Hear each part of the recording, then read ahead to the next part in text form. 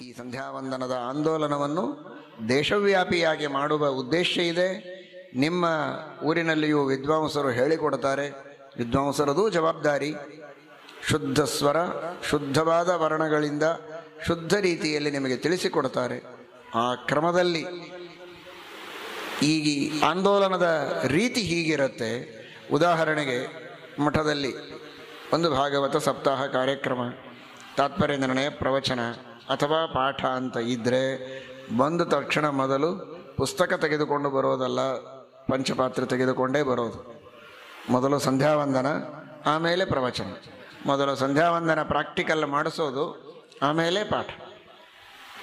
ಸ್ತ್ರೀಯರು ಗುರುಮಂತ್ರ ಮಾಡೋದು ಆಮೇಲೇ ಅವರಿಗೆ ಮನೆಯಲ್ಲಿ ತಾವು ಮಾಡಿಕೊಳ್ಳಬೇಕು.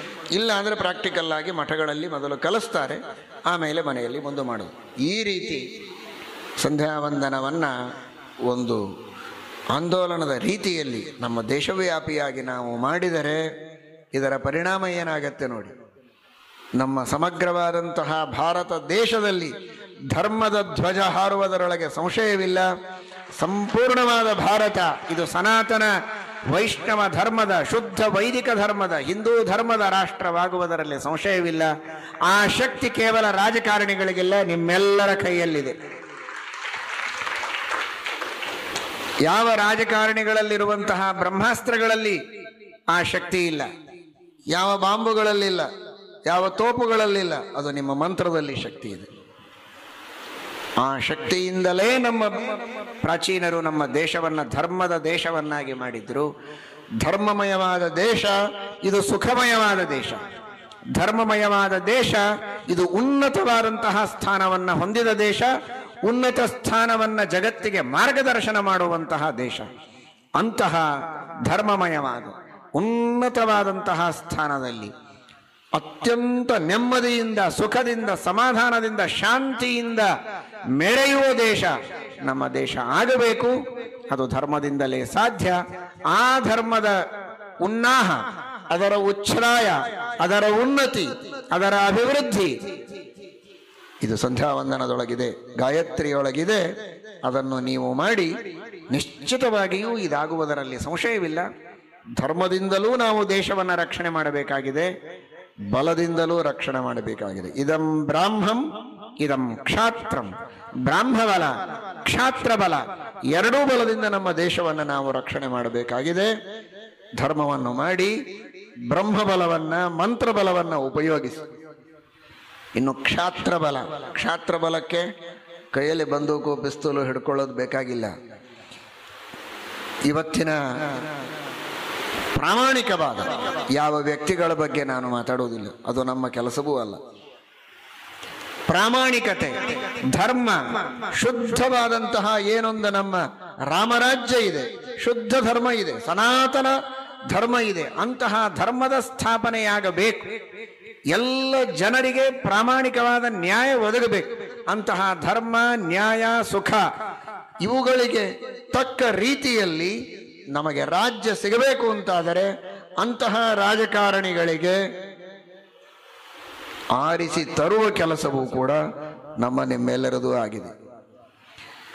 ಯಾರಿಗೆ ತರಬೇಕು? ಅದನ್ನು ಹೇಳಲಿಕ್ಕೆ ಬಂದ ವ್ಯಕ್ತಿ ನಾವಲ್ಲ. ಧರ್ಮಪೀಠದಲ್ಲಿ ಕುಳಿತು. ಯಾರಿಗಾದರೂ ಆರಿಸಿ, ಎಲ್ಲಿ ಧರ್ಮ ಇದೆ, ಎಲ್ಲಿ ನ್ಯಾಯ ಇದೆ, ಇದೇ ನಮ್ಮ ಶಾಸ್ತ್ರ ಹೇಳೋದು. ಯಥೋ ಧರ್ಮ, ತಥೋ ಜಯ.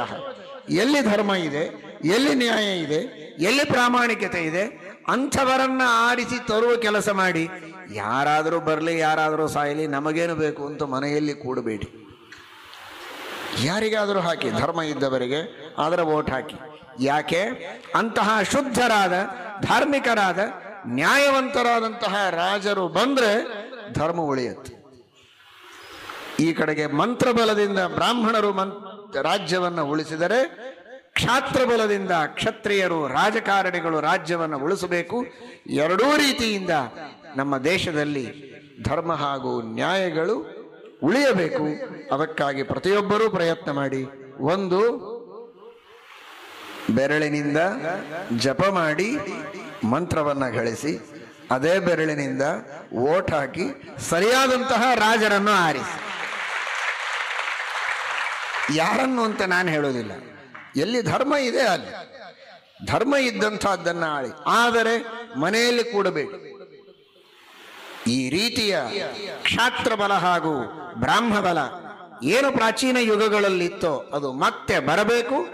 ನಮ್ಮ ದೇಶ ಉತ್ತಮ ದೇಶವಾಗಬೇಕು.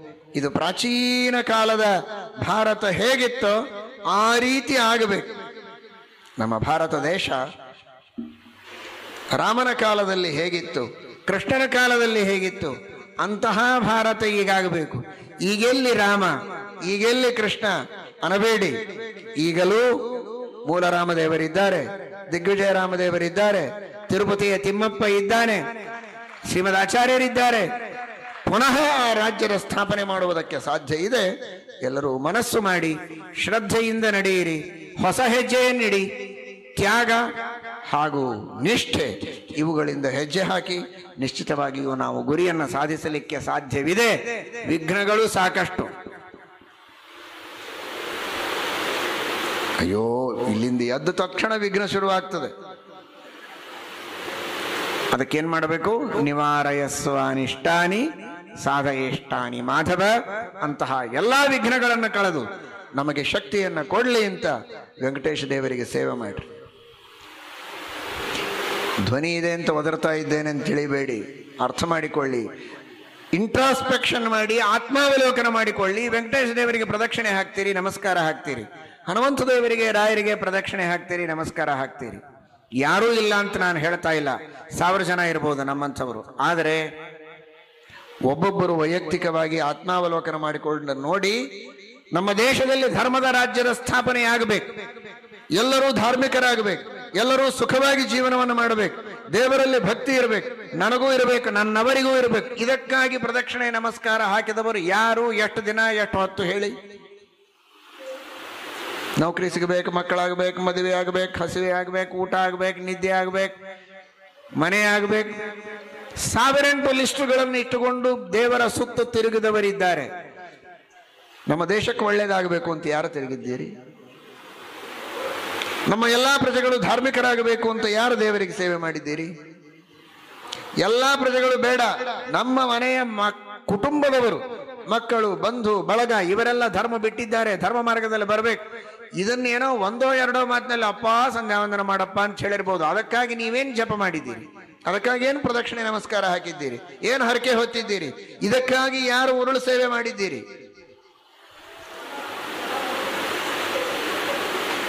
ನಿಮ್ಮನ್ನು ನೀವು ಆತ್ಮಾವಲೋಕನ ಮಾಡಿ ನೋಡಿಕೊಳ್ಳಿ. ಹಾಗಾದರೆ ವೇರ್ ವಿ ಆರ್